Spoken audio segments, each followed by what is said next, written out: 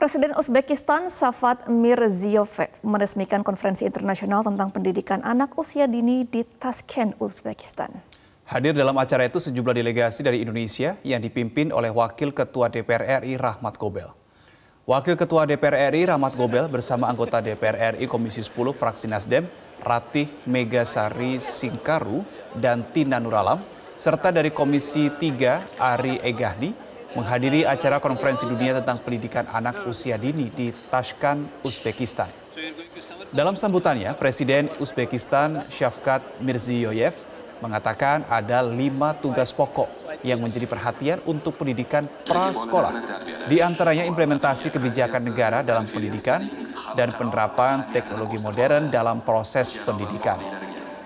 Diharapkan seluruh negara anggota UNESCO, salah satunya Indonesia, bisa berkomitmen memastikan anak-anak di dunia mendapatkan pengembangan prasekolah yang berkualitas. Konferensi ini mendapat sambutan baik dari anggota DPR dari fraksi Nasdem Ratih Megasari Singkaru dan juga Ari Egahni.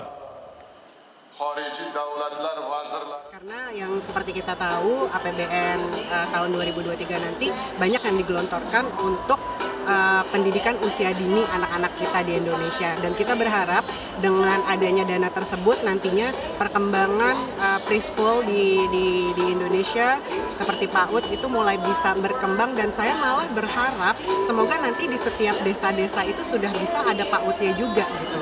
Kekerasan terhadap anak juga masih cukup banyak. Oleh karena itu peran serta semua elemen masyarakat, tokoh agama, tokoh masyarakat, tokoh perempuan, bahkan orang-orang terdekat di kalangan anak diperlukan juga untuk mengamati bagaimana perlindungan terhadap anak ini benar-benar dapat tercapai